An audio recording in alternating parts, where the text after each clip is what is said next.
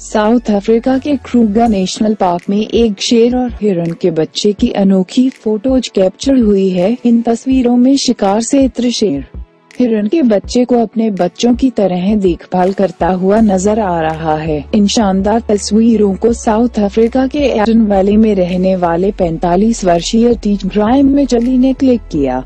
जो अपनी वाइफ के साथ इस पार्क में घूमने गए थे, शेर के पास कैसे पहुँचा? नन्हा हिरण फोटोग्राफर ग्राइम के मुताबिक।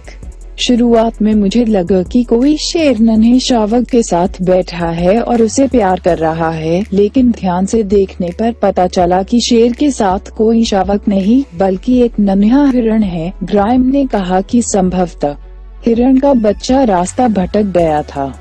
तभी उस पर शेर की नज़र पड़ी होगी। लेकिन वह हिरण के बच्चे को अपने क्यूब्स की तरह दुलारने लगा। वह उसे चाट रहा थी और फिर गर्दन पकड़कर अपने बच्चों की तरह टान कर ले गया। ग्राइम ने कहा कि मुझे नहीं पता कि इस नने हिरण की माँ के साथ क्या हुआ होगा। हो सकता है वह किसी जानवर की शिकार बन गई होगी या फिर ये नन्हा हिरण रास्ता भटक गया होगा।